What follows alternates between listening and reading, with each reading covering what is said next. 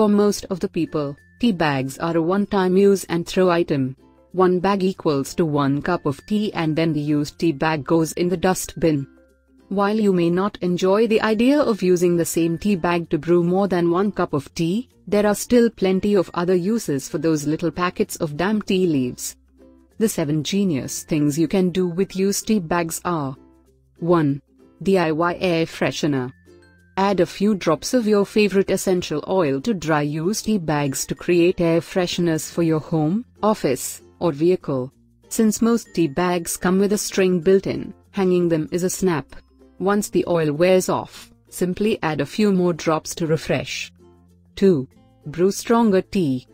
If you like your tea to have a stronger taste, save your used tea bags and add one to the next cup you brew. While a used bag doesn't pack the same punch as a fresh one, the twice brewed leaves will still lend a bit more flavor to the second cup. 3. Feed your garden. You can feed your garden by rebrewing used bags in a bucket of water and use the resulting weak tea to water your plants and protect them from fungal infections. Or you can open up used tea bags and sprinkle the damp leaves around the base of your plants to fertilize the soil and deter garden pests like mice. 4. Soak your feet.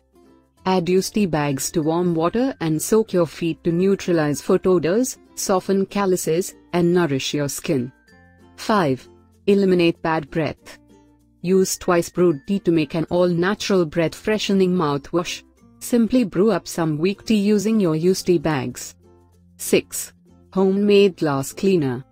Rebrew used tea bags and spray the weak tea onto windows, mirrors, and other glass surfaces to loosen up dirt, grime, fingerprints, and other gunk.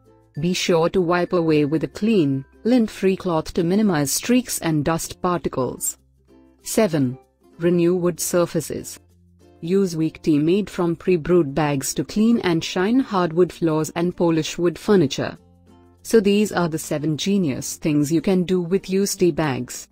Thanks for watching this video. If you enjoyed this video, please do not forget to like and subscribe to our channel. In this channel you will get information about various health related topics. Wishing you good health in your life. Bye.